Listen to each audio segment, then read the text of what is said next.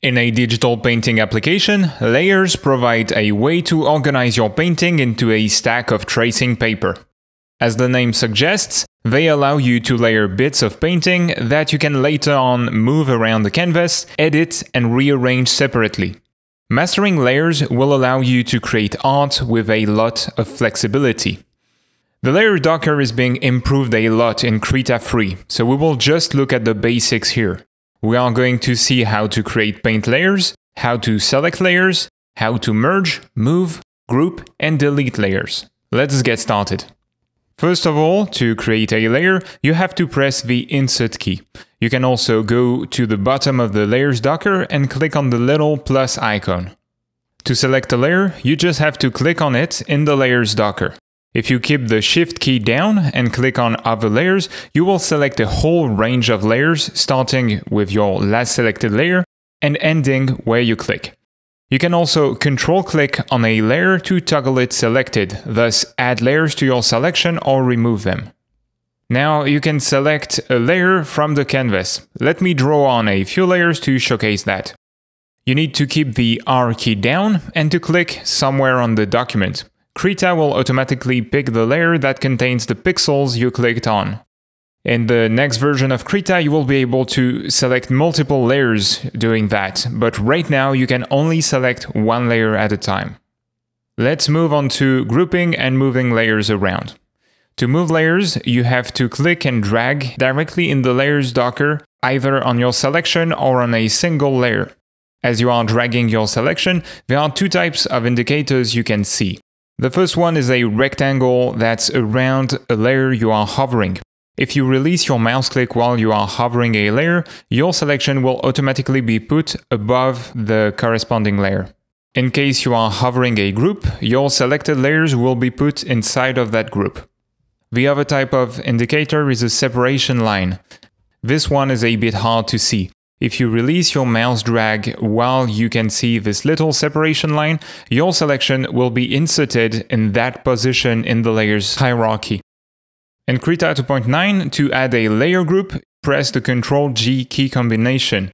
It will be added on top of your selection in the layers docker. Then you have to drag layers onto the group to add them to it, as we just saw.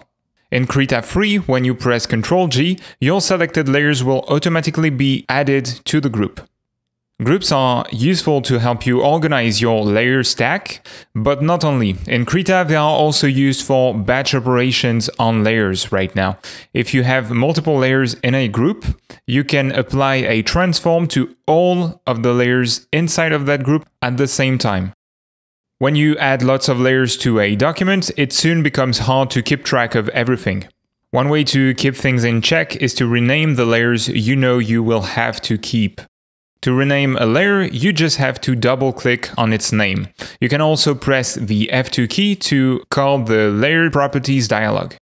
And in the newly opened window, you can edit the layer name. Talking about properties, notice that you have an opacity slider inside of the layer properties panel, as well as a composite mode option. The opacity slider allows you to change the transparency of your layer, and the composite mode, or blending mode, will change the way your layer interacts with other layers below it. Those two options are also available from the Layers Docker. You can see the opacity slider and the drop-down menu above it corresponds to the composite mode option. We are not done just yet. Let's see how we can duplicate and merge layers together.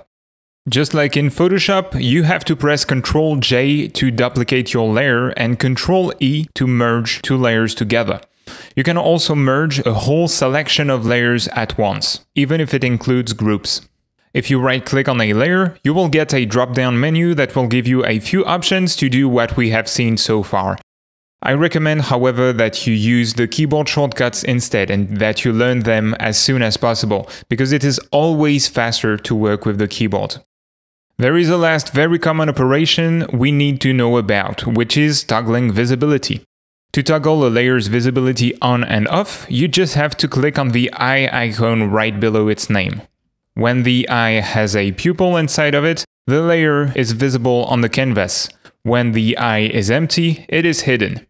If you control click on the layer's eye icon, only this layer or this group will stay visible on the canvas. It will hide everything else in the layers docker. If you control click on the icon again, the visibility of the other layers will be restored to its previous state. This is kind of a way for you to quickly isolate a layer or a group of layers. But if you want to keep your visibility state untouched, note that Krita has a isolate layer function. This is one I really like. It has no assigned shortcut by default, but you can access it by right-clicking on a layer or on a group. When this mode is on, only the layers you selected will be affected by anything you do on the canvas. And in isolation mode, if you click on any other layer in the layers docker, it will toggle this mode off. Okay, that was a lot to take. If you already used a digital painting application before, all of those manipulations should feel more or less familiar. However, if you are new to digital painting, this is a lot to learn in a single video. Because of that, I prepared an exercise sheet for you to play with. You can find it on the course page or in the video description. If you had a hard time understanding everything explained in this tutorial, be sure to check it out. And in the next video, we will be moving on to selections.